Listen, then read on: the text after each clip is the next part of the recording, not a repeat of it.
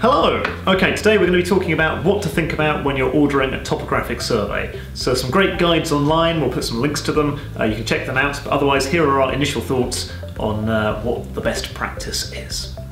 Specification. What do you actually need? And one of the most important questions, what is the survey actually for?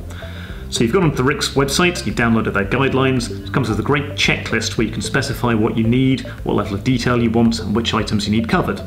However, a couple of things you need to note here. Levels of detail are related to the stated scale of the drawing, so the bigger the scale, the more detail. 1 to 200 is commonly considered standard. Uh, 1 to 100 or even 1 to 50 may be required in conjunction with a measured building survey. 1 to 500 may be good for large estates or parks or space planning. But note, the more detail you need, the more time the survey will take, so it'll end up costing you more. Uh, the bigger the scale, this means more detail, more time, more cost, and higher accuracy, so just be sure to specify what you need. The other point here is do not print the checklist, tick everything, and send it through.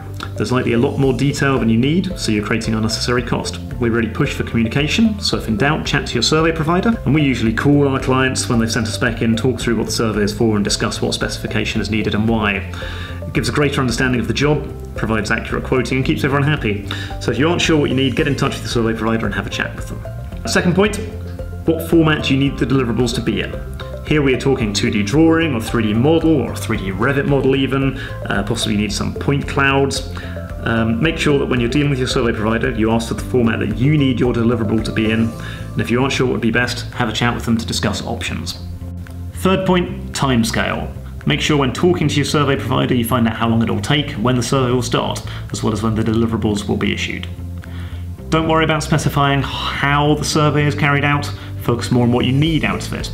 You may have seen laser scanning, so you request for a laser scan um, but that might not be the best way of actually capturing the data. Possibly it's best using a drone, maybe, or if it's a simple survey, just some total station shots. Focus on the information that you need out of it and the deliverable format that you need, and let the survey company make recommendations based on this. Communication. We can't drive this home enough. Always chat to your survey providers. Surveys can be complicated, there's a lot of factors to take into account. Always have a quick chat, and it'll help you get exactly what you need, and no doubt a more cost effective, tailored solution. Yeah, so that's our thoughts on what to think about when ordering a topographic survey. As we mentioned, there's some great guidelines online, so you can check them out. And otherwise, you can check out our website below, and we will catch you next time.